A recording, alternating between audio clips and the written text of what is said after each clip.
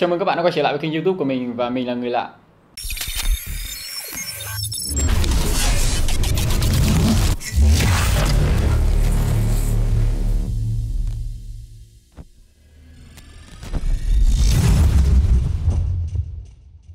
Ngày hôm nay thì trên bàn mình đang có một món hàng hot. Đây là một đôi giày tới từ Adidas. Và như bạn thấy, chúng ta có một chữ Who nằm trong một hình tam giác. Và đây là nguyên tố con người. Who là viết uh, ngắn gọn của từ human là con người mà Đây là một đôi Adidas NMD Faro Who Và chúng ta vẫn gọi cái tên là NMD Human Race Đây là một cái đôi giày mà nó ra mắt vào năm ngoái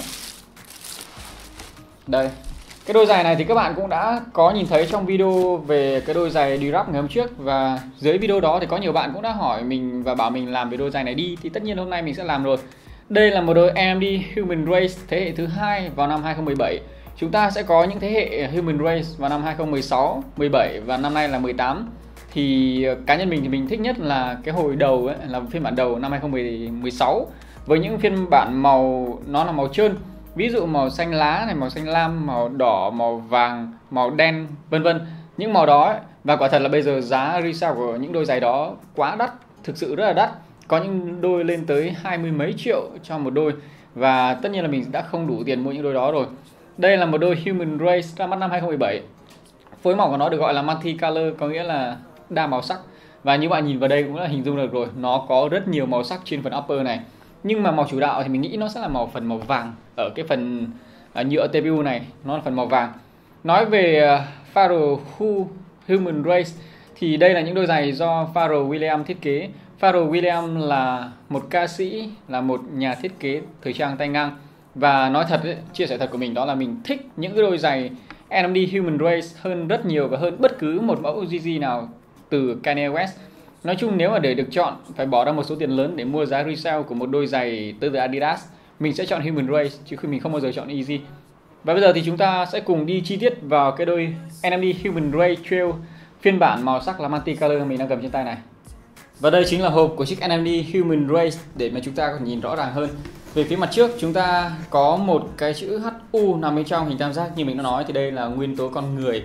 Và có cái năm ra đời của cái bộ sản phẩm này là 2017 về cái hộp màu thì mình nghĩ là nó màu kiểu màu trắng ngà. Và các mặt của nó không có nhiều thông tin. Có hai ký hiệu ở phía bên này. Cái mà chúng ta cần chú ý nhất thì sẽ là phần con tem dán thông số của nó và như bạn thấy. Đây, chúng ta có tên đó là PVK Human Race NMD TR đây là father William Human Race NMD trails Trail này là một cái dạng thiết kế đế mới so với năm 2016 và cái hộp thì mình đã bỏ vào lại vào trong giày rồi. Cái hình thiết kế này nó không giống lắm so với lại cái đôi NLD ở trong giày nhưng thôi bỏ qua đi. Size mình đang có ở đây đó là size 9 US size Anh là 8,5 và size Việt chúng ta hay nói là 42,5 độ dài chân à độ dài giày là 26,5 cm đôi giày này được làm tại Việt Nam. Và nếu mà nói về chọn size đôi này thì mình nghĩ là các bạn nên chọn size kiểu bình thường. Có nghĩa là chọn chu tu size đối với người chân nhỏ thon và chọn cộng thêm nửa size đối với lại người chân bè múc đó mã của nó là AC7360 xuất cụm này trên Google là sẽ ra nhiều hình ảnh và thông tin khác. Bây giờ thì mình sẽ mở hộp ra cho các bạn cùng xem. Đó và chắc các bạn cũng thấy quen thuộc rồi. Đây là một cái sticker màu hồng tới từ trạm Tabo và rất cảm ơn trạm Tabo đã cho mình mượn một con hàng hot như này để mình thực hiện video. Bên dưới chúng ta sẽ có đôi giày nằm dưới lớp giấy gói. À, ở đây có một cái stick có một cái dán đính kèm nữa, một cái hình màu hồng nữa được đính vào bên cạnh giày. Rồi, và các bạn đang xem chiếc giày bên trái của Enemy Human Race, phiên bản Trail Multicolor đó, bên trái. Và chúng ta sẽ đến với bên phải. Ở cái chiếc giày bên phải này thì nó được đính kèm thêm một cái túi ni lông, đựng một cặp dây màu vàng. Và cái dây mà được gắn sẵn ở trên giày này nó có màu kiểu màu tím than mình nghĩ nếu mà mình sử dụng đôi này thì mình sẽ chọn dây màu vàng cho nó đồng bộ với lại cái phần kết nhựa nhựa TPU như này đây. Chứ mình không thích cái màu này lắm. Đây đây là chiếc giày bên phải. Ok, tất cả chỉ có thế, chúng ta sẽ không có thêm bất cứ phụ kiện gì. Và bây giờ thì sẽ đi chi tiết hơn vào đôi giày. Đây là chiếc giày bên chân trái. Và bên chân trái này thì chúng ta có một cái dòng chữ theo bên trên là dòng chữ Earth, là trái đất. E A R T H. Còn bên phải này thì nó là dòng chữ body. Các bạn thấy không? Body đó và đối với mỗi chiếc NMD Human Race thì mỗi bên thì thường có một ký hiệu hoặc là một chữ khác nhau Bây giờ nói về cái đôi giày này thì mình thấy đó là cái phần đế boost của nó rất là dày, rất là dày. Mình nghĩ là có vẻ như nó dài hơn một chút so với các phiên bản kiểu như là R1, R2 hãy nói chung là cái phần boost này nó sẽ dài hơn bất cứ một phiên bản NMD thường nào. Điểm nhấn của chiếc giày này là nằm ở phần upper với lại rất nhiều màu sắc và đúng theo tên của nó, multi color mà. Manti color thì mình sẽ quay gần hơn cho các bạn thấy được cái vải dệt đó. Và như bạn thấy, vải dệt đây có rất rất nhiều màu sắc được đan xen vào nhau. Rất nhiều màu sắc nhưng mình nghĩ là màu chủ đạo của nó sẽ vẫn là màu vàng. Tại vì mình có cảm giác là nếu mà mình đẩy lên mạnh hơn hơn một tí thì bên dưới nó sẽ lộ ra một tí màu vàng. Cảm giác vậy thôi. Những phần chữ cái này là được thêu vào phía bên trên cái lớp vải này. E A, R, đó, thêu rất là đẹp và thêu màu trắng, to bản. Mình thì mình thấy là cái vải thêu này có chất lượng khá là xuất sắc nó không đàn hồi tốt như là Prime Knit ở trên những đôi NMD thường. Nhưng mà mình thấy cách kết hợp màu sắc này khá là đặc biệt và đẹp. Rồi, ok, bây giờ chúng ta sẽ cùng tiếp tục mô tả. Thì ngoài phần upper là một khối liền như là một chiếc tất như này, thì chúng ta sẽ có cái phần bên cạnh nó là cái khung nhựa cố định. Thì lần này hai cái miếng nhựa này nó có màu vàng hết. Nó có một cái lằn ở giữa nổi lên như này và nó được làm liền luôn với lại cái phần khung bên cạnh, phần khung lưới bên cạnh để mà chúng ta xỏ dây qua như này. Nó được làm liền luôn từ đây kéo dài xuống đến đây. Và phía bên này thì chúng ta cũng sẽ có một cái khung nữa nhưng mà khung này thì chỉ nối với lại một bên thôi. Và bên hông ngoài có hai miếng nhựa bên hông trong có một miếng nhựa. Thì đây là cách thiết kế kiểu kiểu giống như là NMD R1 chứ nếu mà XR1 thì miếng này nó sẽ dẹp hơn nó sẽ mỏng hơn. Mình nghĩ là cái thiết kế này sẽ giống R1 hơn. Và nói tiếp ấy, thì cái phần bộ đế này là bộ đế trail như bạn thấy thì nó sẽ có những phần răng cưa chảy xuống nhìn như là hàm cá mập. Và cái những cái răng cưa này được lấy cảm hứng từ những cái bậc thang và cái bộ đế mới này thì nó đã chống trơn trượt tốt hơn rất nhiều so với những phiên bản NMD thường. Và bộ đế này là một điểm cải tiến mà mình nghĩ là những chiếc NMD thường nó cũng nên có. Nhưng mà nghĩ lại một lúc thì nếu như NMD thường cũng mang bộ đế này thì nó lại mất đi cái vẻ lifestyle, cái vẻ không biết phải mô tả như nào nhưng mà cái vẻ mà nó mang phong cách mà nó vẫn có.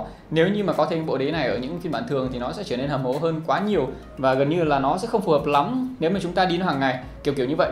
Có lẽ là Adidas cũng đã nghiên cứu đến điều này cái phần nhựa TPU này thì nó vừa mềm vừa cứng nó giúp chúng ta xỏ dây qua. Nhưng nói chung với một đôi giày này thì dây là để trang trí là chắc chắn rồi tại vì gần như là nó sẽ không giúp ích gì được nhiều trong việc là nó cố định cái form giày vào cái mu bàn chân của chúng ta cả.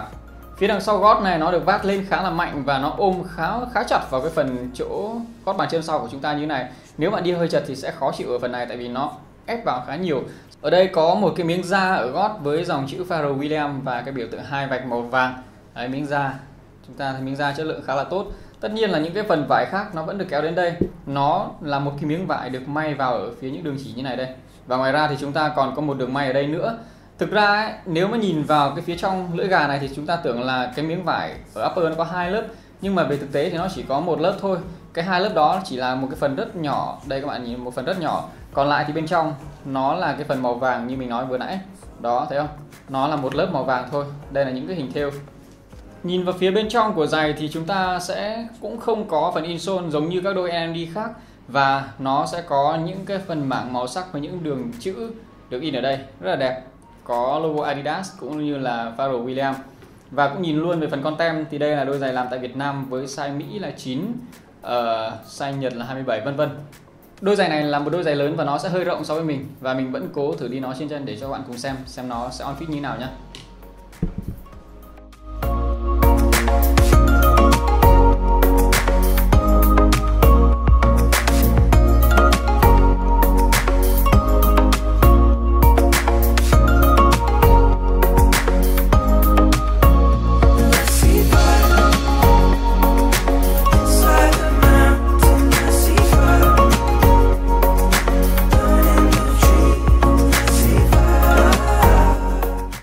Đôi giày này là đôi giày nặng hơn khá nhiều so với những đôi NMD bình thường. Có thể là cái độ nặng đó đến từ cái bộ đế trail mới được đem lên.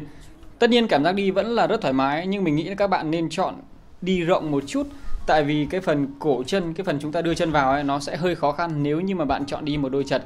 Tất cả chỉ có thế thôi.